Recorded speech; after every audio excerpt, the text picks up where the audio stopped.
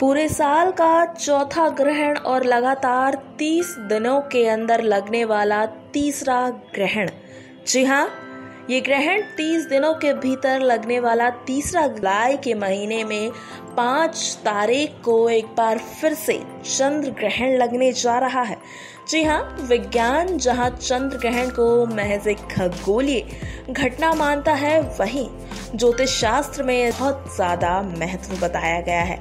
आपको बता दें कि पाँच जुलाई को गुरु पूर्णिमा के दिन सुबह आठ बजकर अड़तीस मिनट से आरंभ होगा। और नौ बजकर खत्म होगा। वहीं आपको ये भी बता दें कि ग्यारह बजकर इक्कीस मिनट पर समाप्त होगा।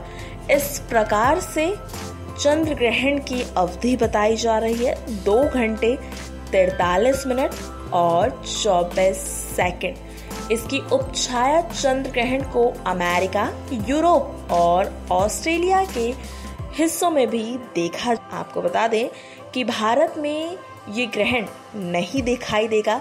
इसीलिए भारत में इस ग्रहण का सूतक काल भी मान्य नहीं होगा।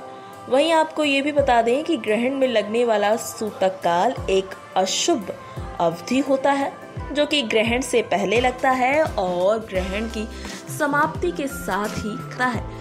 चंद्र ग्रहण में सूतक ग्रहण लगने के समय 9 घंटे पहले प्रभावी हो जाता है और वहीं सूर्य ग्रहण में 12 घंटे पहले सूतक काल लग जाता है।